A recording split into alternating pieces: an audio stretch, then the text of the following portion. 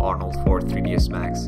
In this series of premium video tutorials in 8 hours and 35 minutes, that's more than 500 minutes of tutorials, we learn how to use Arnold for 3ds Max. First, I show you where to find different Arnold tools and functions inside 3ds Max and walk you through the general workflow to get your job done with Arnold. Sampling and ray depth are the most important principles that you should be familiar with when working with Arnold. That's why we discuss them comprehensively in 57 minutes and in 7 lessons. We make sure you comprehend the core principles before moving on to more general topics like lighting and shading. The next section of the course is dedicated to lighting. We'll learn about different lights in Arnold and different lighting techniques. We'll learn about area lights, spot, distant and point lights, mesh and photometric lights. We'll learn what are light filters and how to use them, what is physical sky, sky dome light and image-based lighting. You'll learn how to approach interior lighting in Arnold for 3ds Max. We'll learn about amazing volumetric effects in Arnold including atmosphere volume and fog. The lighting section of this course is about 1 hour and 55 minutes in 12 lessons. In the next section of the comprehensive introduction to Arnold for 3ds Max, we start talking about Arnold materials and maps. First, we'll learn about standard surface material, which is the main material in Arnold and capable of creating all sorts of materials.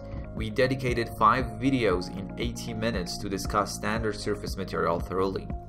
Then we discover bump and displacement mapping in Arnold. We explore standard hair material in a lot of details. This material lets you realistically create hair shaders. The standard hair is fantastic and definitely one of the best hair shaders out there. Then we learn about ray switch, ambient occlusion, curvature, flakes, wireframe, utility, flat, Lambert, two-sided, shadow matte shader, and much more. Then we take a closer look at the remaining materials and maps in Arnold. We learn about different color nodes, conversion, math and shading state nodes. We learn how to use utility nodes and hopefully after watching this section, you should be very comfortable developing complex materials using this long list of materials and maps. The material section of this course is more than 3.5 hour in 18 lessons. Then we take a look at 3ds Max's physical camera and how Arnold supports it. We'll learn about different camera features, we explore how to achieve camera effects like depth of field and motion blur. In about 35 minutes and in 3 lessons we'll learn all about Arnold and cameras. In the section 6 of this course, we learn how to render our scenes in Arnold for 3ds Max. We'll learn about AOVs, what are the AOVs that Arnold offers and how to export and composite them in a compositing app like After Effects.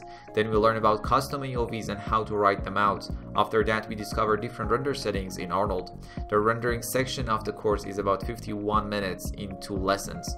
In the final section of the course, we take a closer look at Arnold Properties Modifier and Arnold's procedurals. And finally, we learn about Arnold Volume. We learn how capable Arnold is in handling OpenVDB files and rendering them realistically. The final section of the course is 30 minutes in 3 lessons. We plan to keep this course alive and update the course with more video tutorials as soon as there is a major update from Solid Angle for Arnold for 3ds Max. Over the past 2 years at MoGraphPlus.com, we have produced tons of Arnold tutorials and courses like our comprehensive introduction to Arnold for Cinema 4D and our developing realistic shaders in Arnold. And now that we finally have Arnold for 3ds Max, let's take a closer look at one of the most popular render engines in the world and learn all about it. My name is Kamel Khezri from MoGraphPlus.com and I'm honored to be your instructor for this course. So sign in or sign up and let's get started.